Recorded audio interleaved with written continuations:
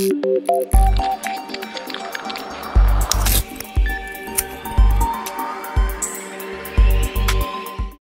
aí, pessoal? Vamos falar hoje sobre o Congresso Nacional, sobre a composição do Congresso e as suas atribuições, é, dentro aí já do, do Poder Legislativo, conforme nós conversamos aí no último encontro. Né? Antes é bom a gente lembrar que o nosso sistema é, legislativo federal ele é bicameral. Ele possui uma Câmara alta e uma Câmara baixa. Né?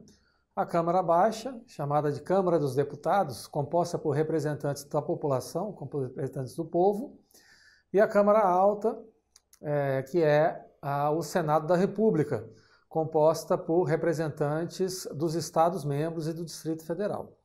Então, nem todos os países detêm né, um sistema bicameral. Alguns países europeus, por exemplo, detêm um sistema unicameral. O nosso sistema segue o modelo norte-americano, né, que também dispõe de uma Câmara e de um Senado.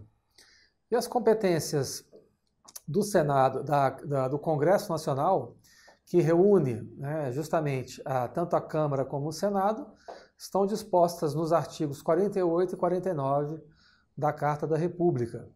Por que, estão divididas? Porque o, as competências do artigo 48 são competências legais, ou seja, onde há iniciativa de lei, seja do presidente, seja do legislativo, em que é, deve haver a sanção ou veto presidencial é, dessa norma né, deliberada no âmbito do Congresso. E as competências do artigo 49 são aquelas chamadas competências exclusivas, exercidas por meio de decreto legislativo, em que não há a interveniência né, do Poder Executivo, não há sanção nem veto do presidente da República, justamente porque o decreto legislativo é um ato normativo autônomo de primeira linha, de primeiro grau, que dispensa a interveniência do Poder Legislativo. Bom, então nós temos aqui no artigo 44 o seguinte: o Poder Legislativo é exercido pelo Congresso, que se compõe da Câmara dos Deputados e do, e do Senado Federal. Cada legislatura, então, o que é a legislatura? É o período de mandato, né? de um deputado federal. Tem a duração de quatro anos. Lembrando que a legislatura do senador, né, o senador ele tem duas legislaturas né, de oito anos. Então, duas legislaturas de quatro anos, é, resultando em oito anos. É, então, o período da legislatura é sempre de quatro anos, que corresponde ao mandato de um deputado federal. Okay? Bom, então, como eu falei para vocês, a Câmara compõe-se de representantes do povo, eleitos pelo sistema proporcional. Né? Então, sistema proporcional, lá do artigo 45, é aquele em que o voto ele vai para a legenda, né, para o partido, para o bloco, a agremiação partidária e não para o candidato. Né? Então, nas eleições de deputados federais, estaduais, distritais e vereadores, você se utiliza do sistema proporcional. E aí é um cálculo né, que é feito para é, cálculo do coeficiente eleitoral para ver como é que são distribuídos esses votos entre os diversos candidatos que compõem aquela legenda. A gente não vai estudar isso aqui porque isso é matéria mais de é, técnica legislativa ou do próprio regimento de cada uma das casas. Lembrando que você tem o regimento da Câmara, o regimento do Senado e o regimento do próprio Congresso Nacional, chamado Regimento Comum. Então, quando a Constituição fala na forma do regimento comum, ela está se referindo ao regimento do Congresso. Quando a Constituição fala, principalmente lá na, na parte orçamentária, no artigo 166, na forma regimental, ela está se referindo ao regimento da Câmara e do Senado. Bom, então, se deputados federais, deputados distritais, estaduais e vereadores são eleitos pelo sistema proporcional, os demais, senadores, presidente da República, prefeitos e governadores, são, são eleitos pelo chamado sistema majoritário, que é o que considera o número de votos válidos, ou seja, excluídos os votos em branco e nulos, ofertados ao candidato registrado pelo partido. Aqui se valoriza o candidato e não a legenda. Então, você vai lá no artigo 46 da Constituição, o Senado Federal compõe-se de representantes dos estados e do Distrito Federal, eleitos segundo o princípio majoritário.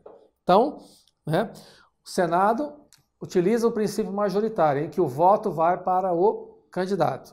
Câmara dos Deputados utiliza o sistema proporcional, em que o voto vai para o partido. Né?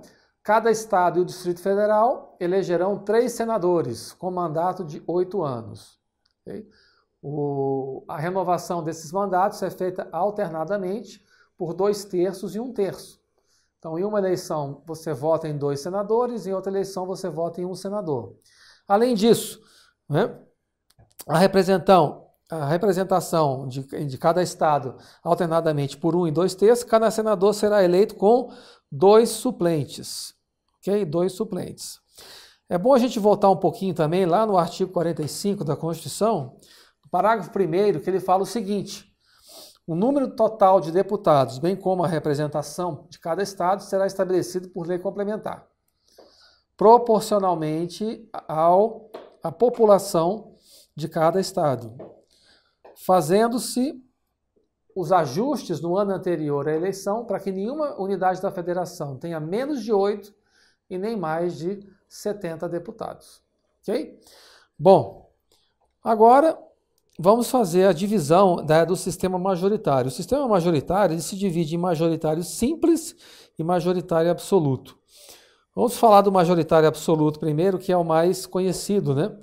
Ela exige a maioria absoluta de votos para eleger o candidato em primeiro turno. Então, para eleger o candidato em primeiro turno, presidente da República, senador e prefeitos, né, com de municípios com mais de 200 mil eleitores, né, presidente da República, senador, governador e prefeitos de grandes municípios com mais de 200 mil eleitores, você se utiliza do, do sistema majoritário uh, absoluto, cujo modelo está lá no artigo 77.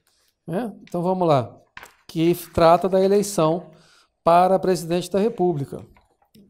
Então, esse modelo é o que é seguido tanto por, pelo presidente, pelos senadores, governadores e prefeitos de grandes municípios. Simultaneamente, presidente e vice, primeiro domingo de outubro em primeiro turno e no último domingo de outubro no segundo turno, se houver segundo turno, ou seja, se o primeiro candidato, se o primeiro colocado alcançar a maioria absoluta dos votos, ou seja, 50% mais um dos votos válidos, ele já é eleito em primeiro turno. Se ele não alcançar essa maioria absoluta, aí nós teremos um segundo turno né, com os dois candidatos é, mais votados, né, no segundo, último domingo de outubro. Ok? Então, essas regras estão no artigo 77, parágrafo 1, 2 e 3. Certo? Bom, voltando aqui então. E o majoritário simples considera o número de votos válidos ofertado ao candidato registrado pelo partido político, né, valorizando-se o candidato e não a legenda. Então, é, você tem, por exemplo, no artigo 29, inciso 2, né, 29, inciso 2, o exemplo do, da eleição majoritária simples, em que vale. Né, bom, município reger-se-á por lei orgânica. Eleição, inciso 2. Eleição do prefeito e do vice-prefeito, realizada no primeiro domingo de outubro do ano anterior ao término do mandato dos que devam suceder, aplicadas as regras do artigo 77 nos municípios com mais de 200 mil eleitores. Ou seja, municípios pequenos com menos de 200 mil eleitores, aplica-se o sistema majoritário simples, em que você elege o candidato que obteve a maioria simples de votos, não precisa da maioria absoluta. Todos os outros cargos que utilizam o sistema majoritário, prefeitos de municípios com acima de 200 mil eleitores, governadores, senadores e presidente da República e vice, utilizam o sistema majoritário absoluto. Só os municípios com menos de 200 mil eleitores é que utilizam o sistema majoritário simples. Beleza? Vamos continuar aqui. Legislatura. Falamos aqui, cada legislatura tem a duração de quatro anos falamos da, da composição da Câmara dos Deputados pelo sistema proporcional, do Senado da República, né, pelo sistema majoritário. Cada senador será eleito com dois suplentes. Né? A renovação feita de quatro em quatro anos, alternadamente, por um e dois terços. E aí, importante a gente tratar aqui da questão da infidelidade partidária. O que, que é isso? O deputado ou senador né, que abre mão, que sai da sua legenda, que sai do partido, né, para eh, adentrar em outro partido ou para criar uma nova legenda, existem uma série de regras que foram aprovadas pelo Supremo Tribunal Federal que estabelecem que no caso do, da eleição proporcional, em que você vota na legenda e não no candidato, ah, Jean, mas quando eu voto lá na eleição, eu voto no candidato tal, ok. Mas os votos são computados primeiramente na legenda, depois é feito o cálculo do quociente eleitoral e esses votos são distribuídos entre os candidatos. Nesse caso, né, o mandato pertence ao partido e não ao, é, e não ao deputado ou senador. Então, se a saída do, do partido foi por justa causa, exemplo de justa causa, o partido votou contra o programa, então eu entrei naquele partido porque eu pensei que ele tinha uma linha liberal assim, ou uma linha social-democrata assado.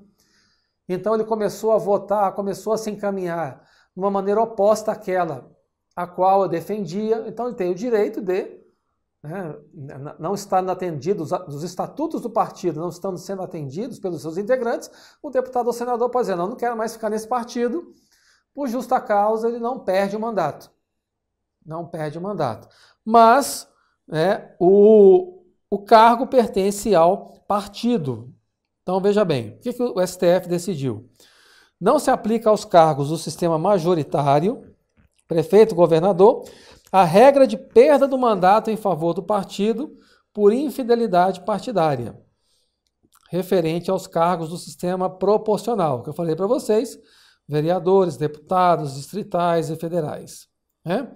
O partido de origem titulariza o mandato. Então, se não houver justa causa, então o parlamentar perde o cargo. Ele pode perder o cargo. E esse cargo permanece com a legenda. Isso é importante justamente para fins de cálculo do quociente eleitoral. Então, o candidato ele permanece com a legenda, o deputado ou senador que se desfiliou do partido sem justa causa perde o mandato. Ele tem que comprovar a justa causa que aí ele não perde o mandato. Ok? No caso do sistema majoritário, né, não se aplica essa regra. Não se aplica essa regra em favor do partido.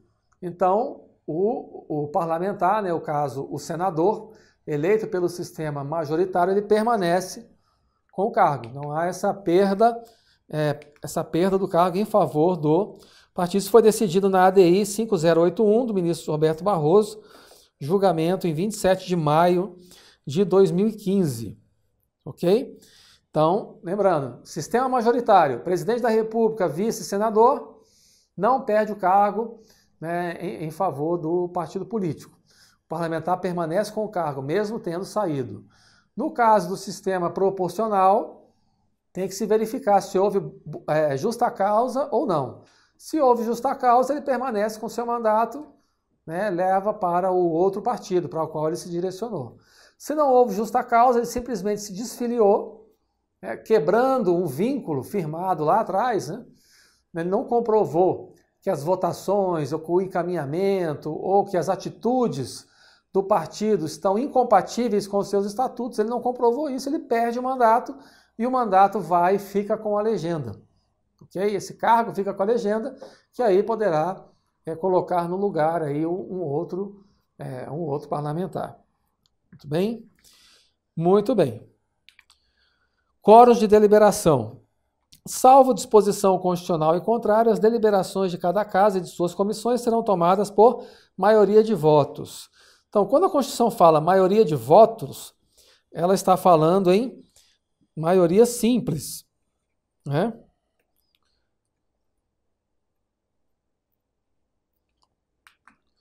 Quando a Constituição fala em maioria de votos, está falando em maioria simples, que é a regra. Né? Essa é a regra. Presente a maioria absoluta dos membros. Quando a Constituição quer definir um quórum diferente, três quintos dos senadores ou dos deputados, por exemplo, para votar a emenda à Constituição, artigo 60, parágrafo, primeiro, parágrafo 2, ou maioria absoluta, ou né, um, outro, um outro quórum diferenciado, é, a Constituição sempre irá dizer isso especificamente, explicitamente. A regra, em geral, é a regra do artigo 47. As deliberações das casas de suas comissões serão tomadas pela maioria simples dos votos. Então eu montei esse, eu montei esse mapa mental aqui para você, para você identificar os quóruns diferenciados que a Constituição estabelece. Então, por exemplo, eu falei para vocês, né, a revisão da Constituição Federal em sessão unicameral da Câmara e do Senado, cinco anos após a promulgação, prevista lá no ato das disposições constitucionais transitórias, né, necessidade de maioria absoluta. Tudo isso aqui é maioria absoluta. Operação de crédito que, que exceda as receitas de capital, é aprovada pelo Congresso Nacional com a finalidade de, a, de incluir créditos suplementares e especiais com finalidade precisa, lá do artigo 167.3. Iniciativa de resolução do Senado da República para resolver conflito envolvendo imposto sobre circulação de mercadorias e serviços, também maioria absoluta. Resolução do Senado para estabelecer alíquotas do ICMS interestadual, Autorização para estado de sítio pelo Congresso, aprovação do estado de defesa, aprovação dos membros do Conselho Nacional do Ministério Público né? e também dos membros do Conselho Nacional de Justiça.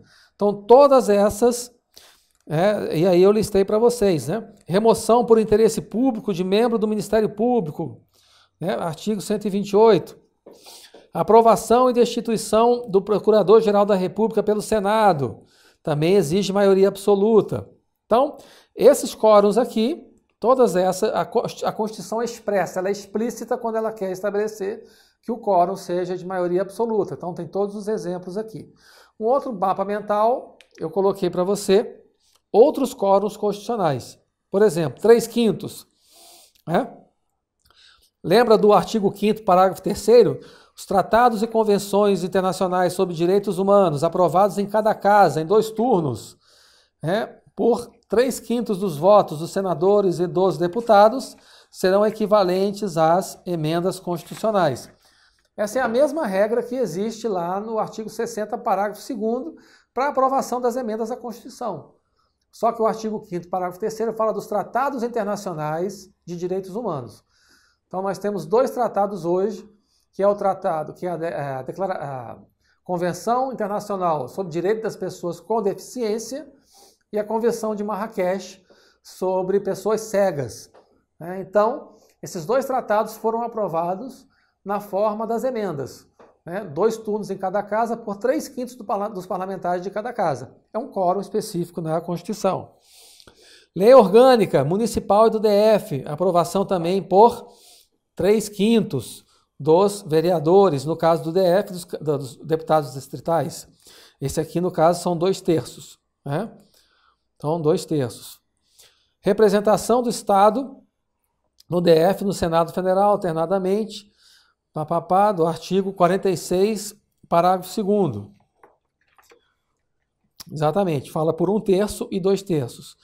Quando a Câmara dos Deputados autoriza o processo contra o presidente da República, vice e seus ministros, o artigo 51, inciso 1, também por dois terços dos deputados. Né? A condenação do presidente da República, do vice, ministros, comandantes da Marinha, do Exército da Aeronáutica sobre, por crimes de responsabilidade. E nos crimes conexos, né, no artigo 52, parágrafo único, também por dois terços dos senadores.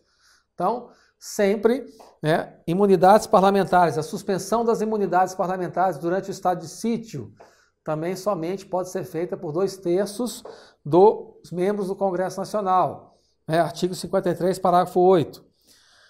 E aí você tem várias outras opções. Também há né, o quórum de um terço. Criação de comissão parlamentar de inquérito pela Câmara, pelo Senado ou pelo Congresso, as chamadas comissões parlamentares né, mistas de inquérito, CPMI, também por um terço. Iniciativa mínima da Câmara e do Senado para proposta de emenda à Constituição. Um terço dos, dos senadores ou um terço dos deputados. Também um quórum de um terço estabelecido na Constituição. que mais? Né? Resolução para alíquota de ICMS interestadual é, ou de exportação. Pode ser de iniciativa do presidente ou de um terço dos senadores. Também iniciativa de um terço dos senadores para uma alíquota mínima de ICMS. E a renovação da concessão e permissão de radiodifusão de som e imagem pelo Congresso Nacional. Essa renovação só pode ser feita por dois quintos dos membros da Câmara e do Senado, okay? prevista lá na, na Constituição da República. Tranquilo até aqui? Então, rememorando, né? Câmara dos Deputados, sistema proporcional, Senado, sistema majoritário, né? votação alternadamente, renovando por dois terços e um terços, Cada, cada estado do Distrito Federal tem três senadores com dois suplentes. O número de deputados em cada estado e no Distrito Federal será estabelecido em lei complementar, não podendo ser menor do que 8, maior do que 70. Tranquilo? Ótimo. Então, no próximo bloco, nós vamos estudar as competências em espécie do Congresso Nacional, tanto na sua competência exclusiva mediante decreto legislativo, como na sua competência legal com sanção do presidente da República.